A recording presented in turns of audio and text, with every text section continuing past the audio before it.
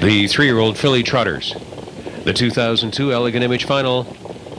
They are off and trotting. CR Ms. American Pie was on a break as the gate was getting away. Watching Cameron Hall closely. She's not fastest. Dietrich is going to the top. That's Dietrich, a short lead. Pepe Levac. Cameron Hall is edging up on the outside, but she's parked going into the first turn. Mars Bar and Umbro Winsome completed the top five. In between fillies goes Glide Path. Ever a Lady on the outside. Then Direct Dial and Male Nurse. CR Ms. American Pie made a break and took herself out of it early.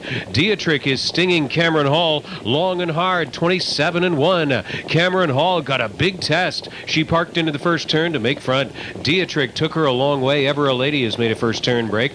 Pepe Levesque is with the leaders in third. Umbro Winsome fourth on the outside. Mars Bar sitting in from fifth. Along the backstretch, Glide Pathley is sixth. Direct Dial is seventh. Male Nurse following trip to the half from eighth position. Ever a Lady is ninth. CR Ms. American Pie was out of it early. Cameron Hall, the halfway point leader, 56 and 4 four. Cameron Hall and Michel Lachance driving away by two on Dietrich on the way to the final turn. Pepe Levesque is back in third. Overland Journey for Umbro Winsome from fourth. Mars Bar is fifth. On the outside, six coming out was Glide Path, and Male Nurse picked up a couple positions to be in seventh. Eighth on the outside, but yet to fire Direct Dial. Then ever a lady who had an early break, and CR Ms. American Pie was pulled up at the half. Cameron Hall and Dietrich at the top of the stretch. 125 and 1.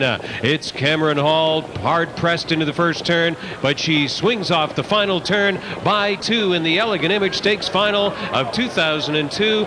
Cameron Hall, then Dietrich, Mars Bar, and picking up fourth was Glide Path. What a sensational filly, the undisputable queen of the three-year-old trotting fillies of 2002 thus far. Cameron Hall over Dietrich Mars Bar third, Glide Path fourth, 154 and 2. Track and stakes record for the amazing Cameron Hall. Comments? Let's go back down to the winner's circle. Jason Portuondo standing by with winning driver Mike Lachance. Second win on the night for Mike Lachance, and uh, must be such a thrill and an honor to sit behind an amazing filly like this. Oh yeah, she's that's what you could you could say. She's amazing. Uh, she's uh, you know, she's just get better every week, and it's always a, a, pleasure to to drive a trotters like that because you know you drive her like a pacer. and she's so safe and uh, she's quick behind the gate.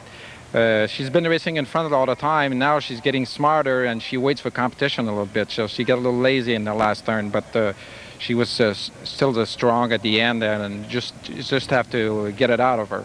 Now, as you watch her stroll home to victory here, uh, what about the race itself? A little hard pressed into the first quarter. How important was that second quarter breather? Well, she's uh, she's so relaxed this year. Last year she was a little hyper, so I had a tough time to handle the, the second or third quarter. But uh, this year, right now, she's uh, she's been so relaxed. Uh, she, you know, she just came back on her own. Congratulations on the victory. Thanks.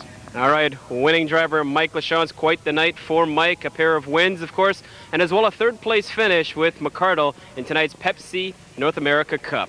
Mike is headed to the winner's circle, and so are we, and we head back upstairs once again to track announcer Frank Salive. Thank you, Jason and Mike. There she is, Cameron Hall, after setting her second Woodbine track record. She is still the track's two-year-old filly trot record holder as well last year, covering this surface in 157.